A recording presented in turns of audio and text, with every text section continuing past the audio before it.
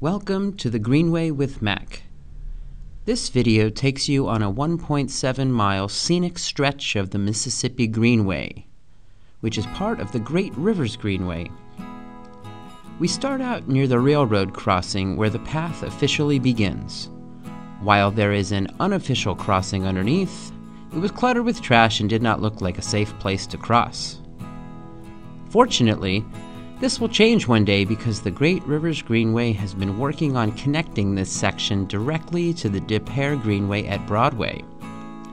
As of 2022, they are waiting for the Union Pacific Railroad to approve this section under the train tracks so that construction can commence.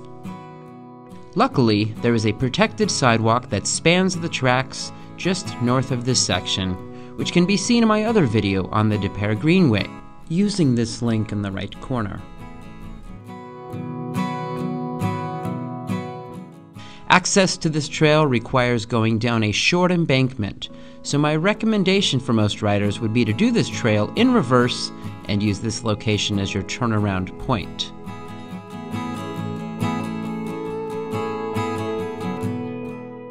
The master plan for this greenway is really spectacular and will be an absolute gem for the region.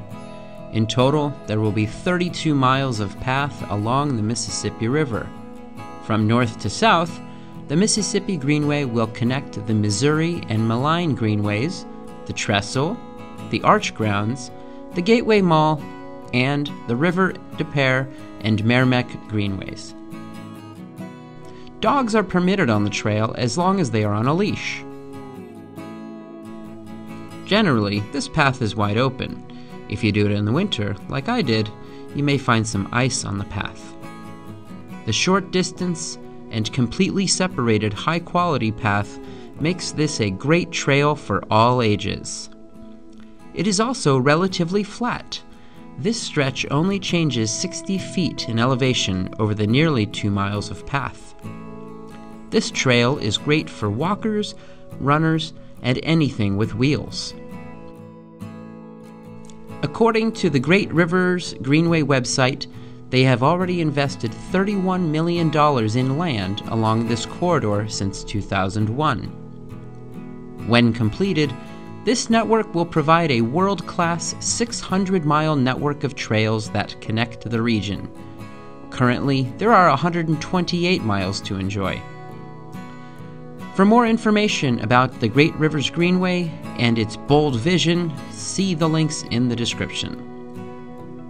In addition, search this channel for more videos about the Great Rivers Greenway, including this playlist above.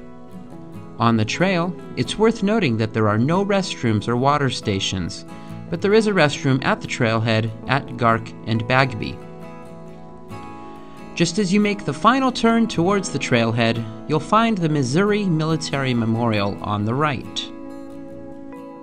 Once you arrive at the Mississippi Greenway trailhead, there are many things to do. History fans can check out the three museums of Jefferson Park. If you're looking for physical activity, the park is filled with trails to hike and bike. There are also two great disc golf courses to enjoy. There's a link in the description with more information about those. If you have found value in this video, please click the like button and subscribe to see more videos like it. If you want to support the Great Rivers Greenway project, you can find a donation link in the description as well.